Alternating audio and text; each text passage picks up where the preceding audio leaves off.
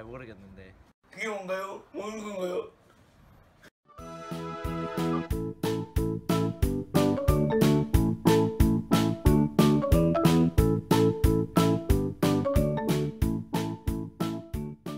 그냥 어떤 게시물이나 그런 거 올린 사람 게 아닐까요? 저작자를 위한 법인 것 같습니다. 어 저작권은 음, 뭐 메신저나 어 그런 뭐 페이스북 그런 것들을 그런 것들에다 게시물을 올린 사람들을 위한 법이라고 생각해요.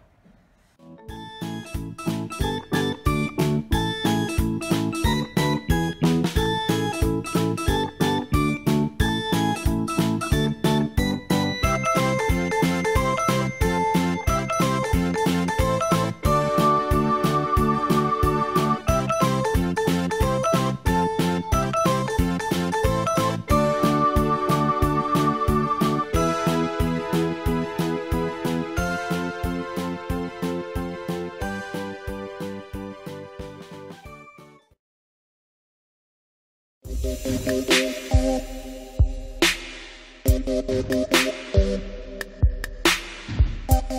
you.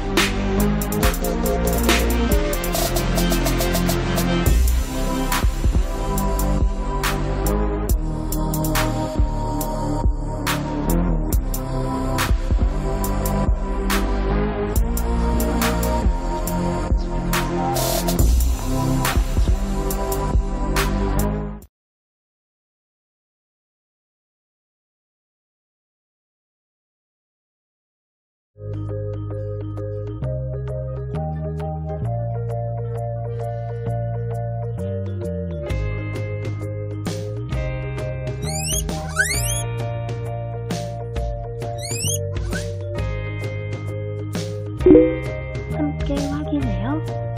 폰트 파일의 저작권은 프로그램을 창작한 자와 창작을 기획한 업체에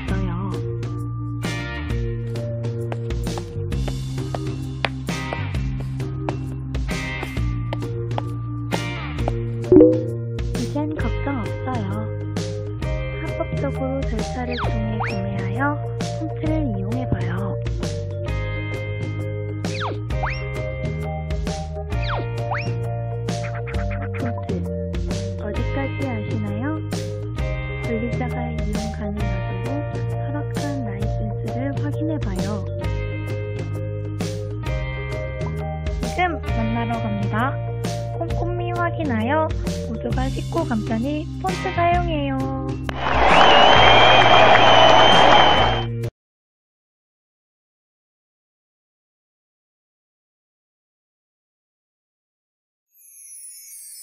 음.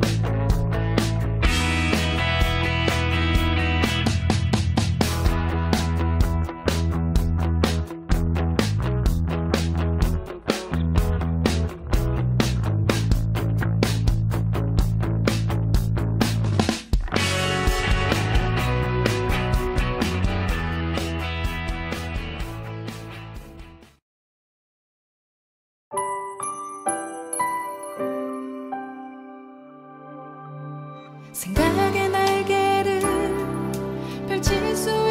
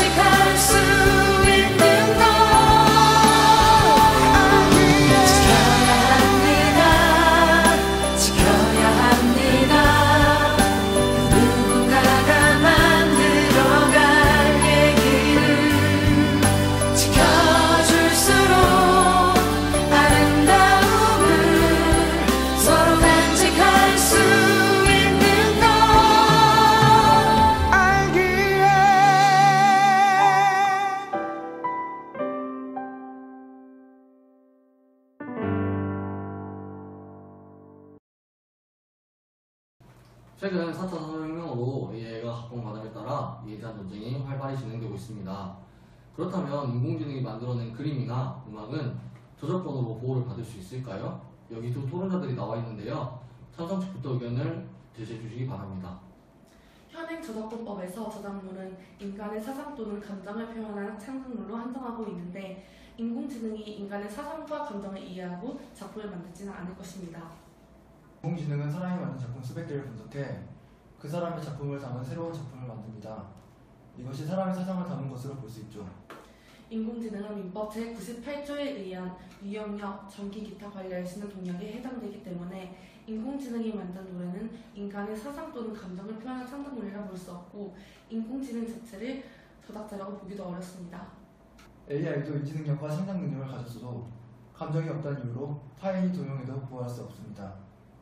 저작권 제도는 콘텐츠의 창작성과 희소성을 기반으로 그 목재나 유통을 제한하고 라이선스를 통하여 창작한 권리자의 이익 창출을 도모하는 시스템입니다. 그런데 인지능력과 창작 능력을 지닌 AI에게도 저작자의 질이 인정하고 이러한 AI가 선출하는 콘텐츠가 폭발적으로 증가하게 되면 저작권 제도가 지닌 이러한 의미는 퇴색되고 기반이 흔들릴 수밖에 없으며 기술 중립성의 지향성에도 반하게 됩니다. 인공지능을 활용한 창작물이 갈수록 늘어날 것을 예상됨에 따라 국내에서도 인공지능 작품이 저작권을 인정해야 합니다. 또한 AI에 의한 활발한 창작 활동도 문화의 발전과 문화 산업의 융성이라는 관점에서 분명히 긍정적 효과가 있습니다. 저작권 분쟁 발생 시 소송에 의한 확인에 과다한 사회적 비용이 소요되는 문제 등 여러 문제를 야기시킬 수 있습니다. 미국과 유럽의 경우 법 개정을 통해 인공지능이 만든 창작물도 저작권 보호를 받도록 하고 있습니다. 두 분 의견 잘 들었습니다. 인공지능을 활용한 창작물이 점점 늘어나고 있기에 이에 대한 논의는 더 활발해질 것으로 예상됩니다. 현행 저작권법에서 저작물은 인간의 사상 또는 감정을 표현한 창작물로 한정하고 있습니다. AI가 저작자로 인정받기 위해서는 법 개정을 해야 하는 만큼 더 신중하게 논의되어야 합니다. 귀한 시간 내주셔서 감사합니다. 다음에 다른 주제로 찾아뵙겠습니다.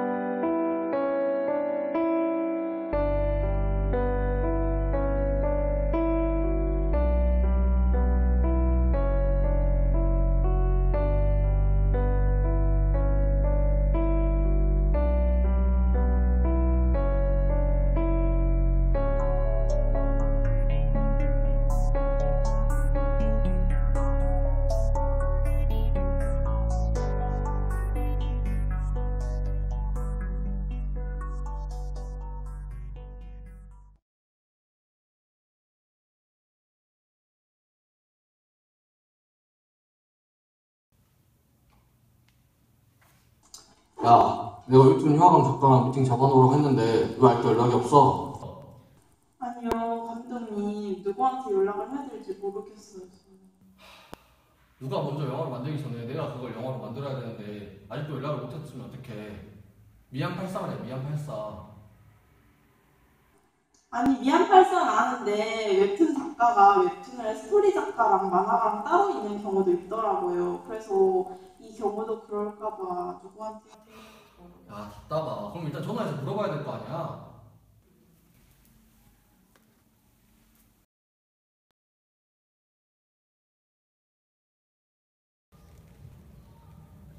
안녕하세요, 미안팔사님. 여기는 반드시 영화 제작사예요. 네, 다름이 아니고 작가님 웹툰 휴화광을 저희 쪽에서 영화로 만들고 싶어서 이렇게 연락드렸어요. 아, 안녕하세요. 감사합니다. 근데 사실 그쵸, 있는 거죠. 스토리 작가.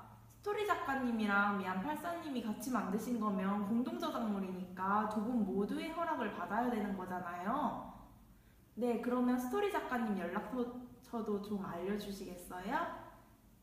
아니 공동 저작물이면 그러겠죠. 근데 사실 아니면 혹시 스토리 작가님이 미안팔사님과 별 구체적 협의 없이 독자적으로 스토리 작성하셨나요? 그럼 작가님의 웹툰은 2차적 저작물이네요. 저희는 웹툰 표현이나 인물, 배경 설정 같은 거 참고하지 않고 스토리에만 기초해서 영화를 만들 거라서요. 그럼 작가님 동의는 필요 없겠네요. 그러면 스토리 작가님 연락처도 좀 알려주시겠어요? 아니 말을 끝까지 들어보시라고요. 다 맞는 말인데 휴화강은 전적으로 내가 이야기 구성하고 그림 그려서 만든 그냥 내 저작물이에요. 그리고 사실 어제 다른 영화사랑 계약했어요. 미안하게 됐습니다. 아, 그럼 진작 말씀하시지 왜 이제 말씀하세요? 저 이제 감독님한테 혼나게 생겼어요. 말하려 했는데 당신이 계속 말 끊었잖아 이 양반아.